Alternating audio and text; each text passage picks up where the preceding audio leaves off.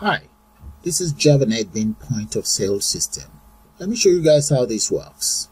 I'm going to select any of these item and just click on remove. There we go. And that's it. Let's select one more. There. We can even reset the whole lot. Click on reset. Add another product that you want and look at that. Look at what's happening. The system is automatically adding up the amount of the item selected. Okay, let's supposing we intend to pay by cash. Let's enter about let's go for maybe 70 pounds and in there just click on pay. There. We can even print that out. Click on print and I'm going to print it out as a PDF file, Adobe PDF. Click on print, just one copy. Print. There, it's coming up. And right there guys, the system is asking us to give it a name. I'm going to leave it as Java Printing and save it there on my desktop. Click on save. And that is it right there. Okay. And if you want to verify the printout, let's go straight in here and just minimize that. That is it right there. That's the receipt that has just been printed out. You can compare it straight to the item that we have in here. Okay, let's exit out. And let's start work with a new tutorial. So I'm going to exit right out. Let's click on yes. Now I'm going to go back to the file here. Let's start with new project. And make sure you select your Java application. Click on next and there I'm going to give that project a name I'm just going to call it Java POS and uncheck the create main class. There click on finish. Alright. And right here my Java POS is ready. Right click on the application package itself and let's select JFrame there we go. I'm just gonna call that Java POS as well there we go. And right there. So then let's click on finish. There. And right there. So what I'm going to do now is I'm going to right click on this very frame and let's select set layout. Then select absolute layout. There now right click on it again and let's select the properties. Once the properties is selected let's go to code. Right inside the code here let's change the font size to 1400 by I'm going to make that 800 and where we have generate center just make sure that is checked and close. That is it. Already now the next thing I'm going to do is I'm going to come right here palette let's select panel just drag the panel right here. Drag it that much. Now let's go to the properties of the panel and look for border. Click on the border. I I'm going to now select, let's go for bevel. Yeah, this is very one. And instead of raise, I'm going to make that lowered. And click on OK. That is it. Now, I'm going to right click on it and just select it. I'll copy it, I mean, and just paste it right here. Paste. And that is it. Drag it all the way here. Yeah, and just drag it that much. there we go that's fine okay now let's go back into the palette and select table there we go that's our table there I'm going to paste that table right here I just need to make that table. Let's go for three instead of four rows. Four instead of four columns I'm going to make that three. Right move this up. Yeah that's fine. And I'm going to select the properties for this table. Let's go to the property and where we have model right here click on that. And right there instead of four I'm going to make that just three that's column. Make that three. Get rid of that. And the number of rows I'm going to make that zero. There'll be nothing in there. Now the very first one here I'm going to change the name to item. Uh, followed by. Let's change this to quantity. And here we change this one to amount there we go. And that's all there is to that. Okay click on ok. There that is it. That one is sorted. Right. Next thing we want to do now is let's add some buttons here. Go straight to my palette. Grab a button. There. Paste it right there. But first thing first because of these lines i'm going to right click on it and let's select set layout. Make sure it's absolute layout that's good so that i can change i can move around the way i want i'm going to repeat the same thing here right click set layout select absolute layout so we can now move our object anyhow we want so that is fine so let's select this very object and change the font size to something a little bit readable. I'm going to make it, let's come for about 36 and click on OK. That's cool. And we're going to get rid of the text content in there. Come back in here, just get rid of that text content and change it to 7. There. Okay. Now I'm going to right click or just press Ctrl C, copy, Ctrl V, paste. So we have another one here and another one here. So select it all, one, two, three, and just copy and paste. One, two, and three. Ctrl C, Ctrl V, paste. Drag it down. We have six. So let's select it all. Ctrl C, Ctrl V, paste now we have in total we have 12 buttons so let's bring it down a little bit and we need to do the same thing here as well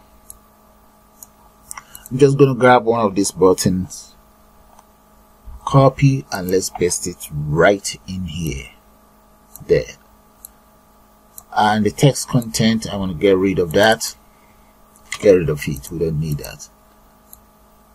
Okay now let's copy this across. We'll need about in total 18 copy paste. We have two. Paste. And select it all control C control V paste. There we go. That's fine. Now select it all. Control C control V paste. We have 12 paste another one. That's 18 complete. Brilliant. Now okay let's add another palette here. Let's come in here add another panel I mean right underneath here. And I'm going to change that to bevel as well and that is it. Instead of raise let's lower it there. And right click on it let's change the okay let's change it to absolutely right. And that is it right here. Let's bring it this way and just I'm just going to extend it this much. There we go. Right there and I might as well just copy another one. Let's copy control C paste and just reduce the size of this very one that I've just copied. Let's just reduce it that much. Okay there. Alright that's fine. I'm going to copy that again. Control C paste. We have two and one more. We have three. Okay let's add labels. So I'm going to come back in here. Let's grab a label. There we go. That's the label here. And let's change the size of that label to we'll make that about 24 bold. Yeah that's fine. Okay. Another label. Let's change the content to subtotal. Subtotal there we go. And at the same time might as well just copy it control C control V and paste. That will be for tax and another one control V. That'll be for total. And just double click on it get rid of that stuff. Double click on this and just change the text content to tax. There. And I'm going to copy these three. Copy them and paste them right in here. Okay that's fine right. Now the next thing is let's add text field. One text field here change the font size to 24 as well. 24 bold. There. And just extend it that much. Control C copy paste. And another one copy paste. So let's grab two here copy those two and just paste them in here now I'm going to add a combo box here. Go back to the palette and let's grab combo box. Paste that in here. And change the font size of that combo box to 24 as well. Come right here go back in here. Okay first of all let's change this to let's just change as follows. Delete all of that. The first one is going to be cash underneath that'll be visa card and master card there and click on ok. So let's change the font size. Make that bold 24 yeah that's fine. And get rid of all the text content in here. Let's get rid of that. Delete. Now change the variable names of individuals. So this one is let's change this one to txt jtxt change right. That's fine. And we change the name of this one to jtxt display. Jtxt display. Yeah that's fine display so it's okay. Right. Click on ok. And here let's change it the data we have in here. I'm going to change this one to payment method. Right. Let's move it back a little bit. And we may have to collapse this a little bit. Yeah that's fine. Okay. Now this is going to be cash. Um here I'm to change that to change. Okay alright that's fine. Okay we get rid of the text content here as well. Come right here just get rid of that. There. That's going to be jtxt select that again. Variable name jtxt jtxt subtotal. Okay. Copy that. And this one is going to be jtxt total let's get rid of the sub there why this is going to be jtxt tax jtxt tax there. And right up here I'm going to add a text box. So let's grab a text box. Yeah.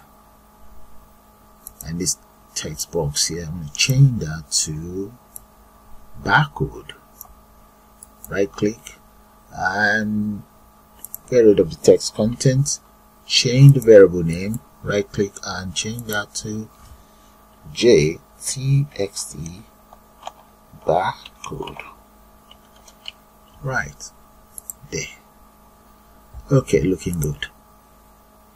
Now the next thing is let's drag this down a little bit. Okay then that's fine. Now let's come in here change the data we have in here to and just change that to go back in there right click change that to 8 8 the next one is going to be 9 and the variable name that will be BT, JBTN JBTN 9 and I'm going to repeat the same thing for the others. Okay all done. Now I'm going to select this very text here and let's go to the properties I want to change the font to barcode that I've already installed. So let's just enter, press C there. Let's do that again. Come back in here, font, and let's look for C right here. Press C, and there we go. That is it. That's the barcode there. And now I'm just going to click on OK. There, that's fine. So let's try it out and make sure that's barcode in there. Yeah, that is fine. So I'm going to let's increase the font size so I can get it right. Font right here. Just let's make it about 36 and see that. Okay, that's fine now. Okay, get rid of the text content in there. Okay, so save. Now the next I want to do is just to add some buttons here. So I'm to come back in here now, grab buttons. There. Let's paste that here. Let's drag it that much. One.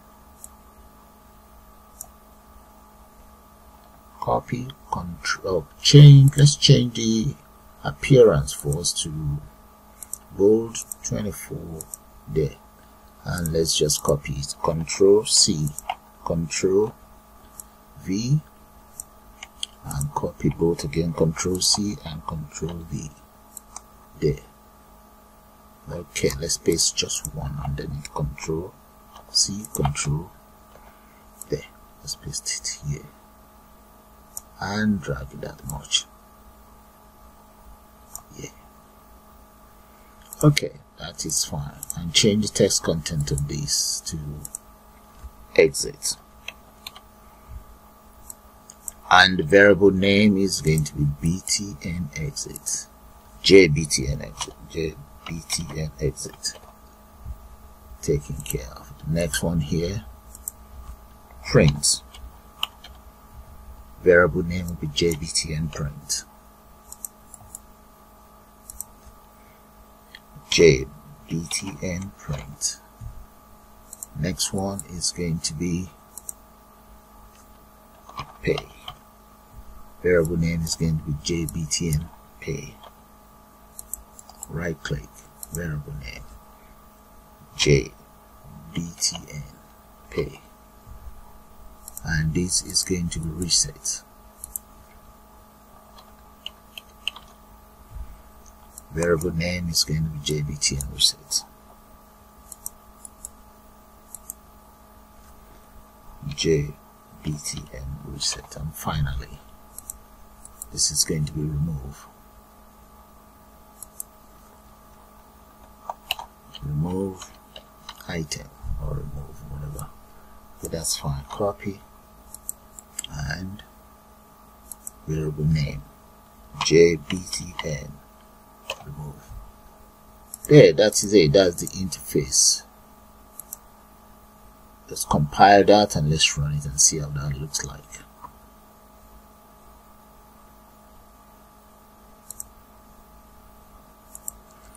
okay let's run. And this is how it's looking. Okay now the next thing is let's add some images to these buttons. So exit out. But before I can do that I'm going to go straight into the project area here. And right here I'm going to click on this. Here click on the source package right click and let's select new and in there let's select order. And inside order come right down here. And I want to select order folder again and scroll right down. See this folder? Click on that folder. Click on next. Give it a name. I'm going to change it to image and just click on finish. That should appear right there. Okay? Now the images that I need is right here those are the images that I need. I'm going to copy those images and just paste them right in there. So let's select the ones I need. So let's try one first. Right click on this and just copy it. And paste it right in there. Paste. There. You see that guys? That's how easy it is. So I'm going to repeat the same thing for the others. I need 18 in total okay all the images required is selected. So I'm just going to right click and copy them all. Copy and let's go straight into my image folder and just right click and paste. There. There we go. And that's it. Okay I have 18 images there in total. So let's select each of these buttons. Click on that and let's go straight to the property. What we need now is the icon. That is the icon right there. Drop down the icon we should be able to see the images. Let's click on that. Okay. Let's select that. Click on here. And in here I'm going to change the default. Let's select that default to the image package.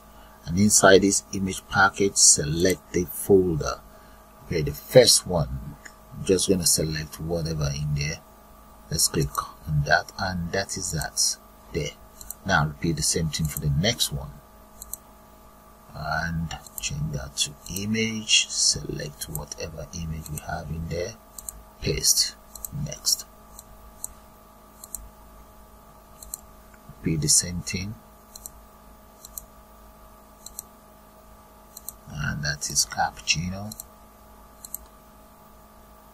And there for the next one image. Right we have three so that's going to be for the cocktail. All right. Next one. I guess you guys get the whole idea then I'm going to just have to speed that up. So select here what image is that? Uh, we have crazy coffee. Right now let's do one more then I can speed that up.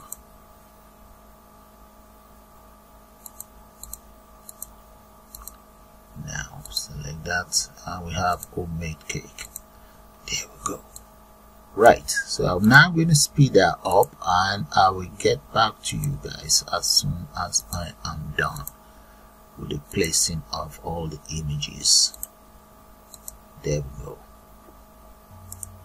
okay guys all of the images are in place now. So what i'm going to do is I'm, i need to get rid of this column. I don't want them there. So let's come back in here. Model just select that. And let's come here. You see where we have rows. I'm going to just change that to zero. That's minus minus minus that's fine click on ok. All right that's fine that's how i want it. Okay so it's all done now. So what we then need to do is let's start work with writing lines of codes. So for the very first button here okay for this very first button i'm going to right click and let's go to event. Let's select action and action perform. And right in here let's get rid of that comment. Now the very first thing i'm going to do is to call a string data type and this string data type I'm going to call it enter number. And enter number equals jtxt display.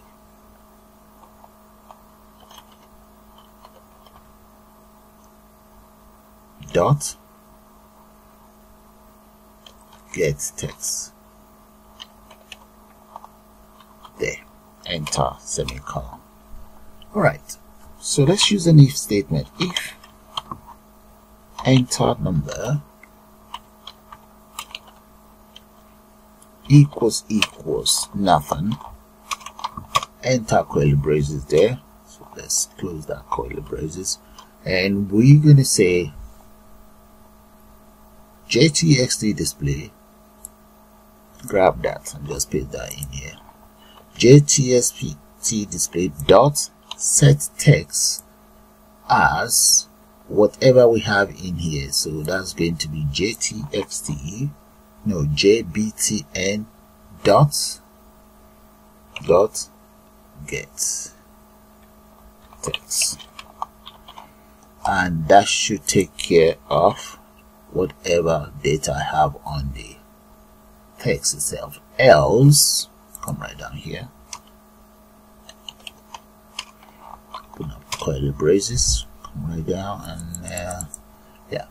India is going to become JTX no it's going to become enter number. Grab all of these now and paste it right in here. Enter number equals jtxt display dot get text plus whatever we have in here grab that and I'm going to just enter a plus sign here. Paste that in there. Okay and right underneath I'm going to then say jtxt dot set. Jtxt display. Copy that and paste that right underneath here. Jtxt display dot set text and what do we have in there is going to be enter number. Right I'll just end that there.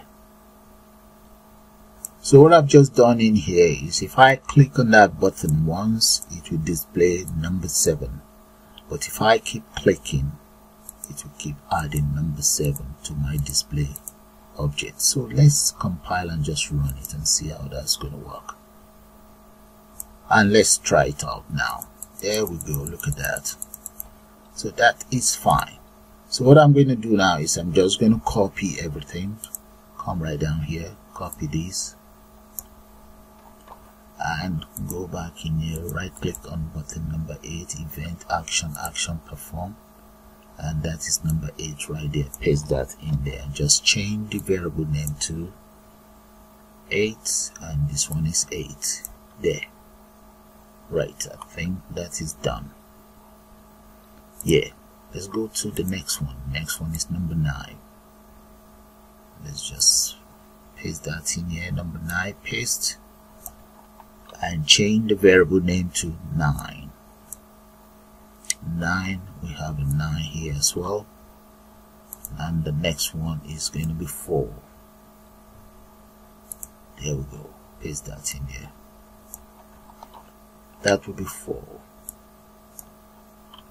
I have a 4 here and we have another 4 here. Number 5 paste right here. And change the variable name to 5 5 and a 5 here. Guess you guys can see the lines of code from here. Okay we have 5 now repeat the same thing for 6 number 6 right underneath here. Paste change the variable of that button to 6 and this is 6 as well. Okay. 1 repeat exactly the same thing for 1 there. Paste that's 1 we have a 1 here as well. 2 paste. Change that to 2 we have a 2 here. And this is a 2 there. The next one is a 3 right click. There we go. And repeat the same thing. That's 3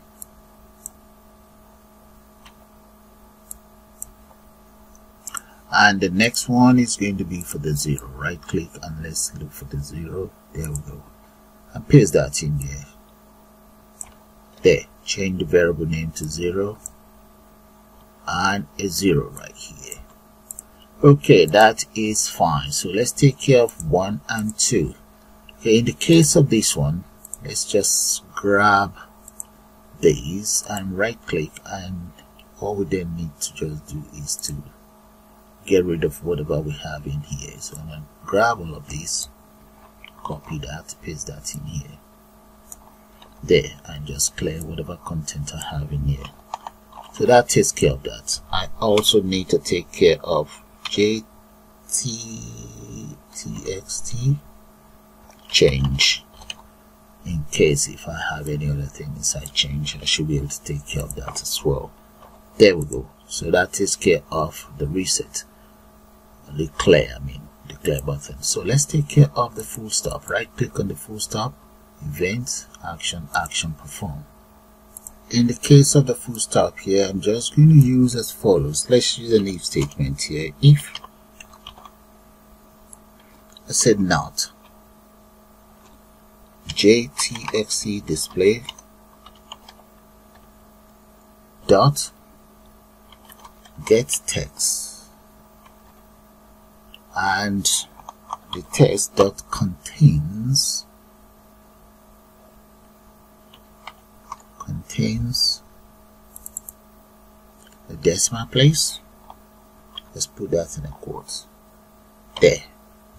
So in that case what will happen is let's enter curly braces first then we then we then need to enter as follows. Jtxt.set we want you to set whatever we have in here.